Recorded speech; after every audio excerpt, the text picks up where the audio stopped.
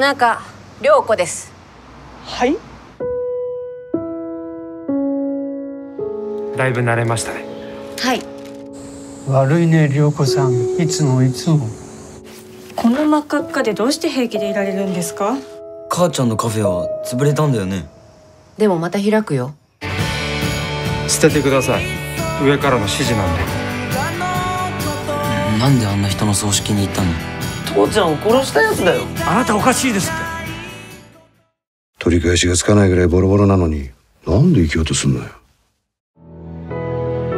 そんなの分かりませんよって話でしょ。逃げていいでしょ？みんな逃げてるよ。私の問題だから。沈まぬ夕日のように最後まで心に燃え続けるものとは。茜色に焼かれる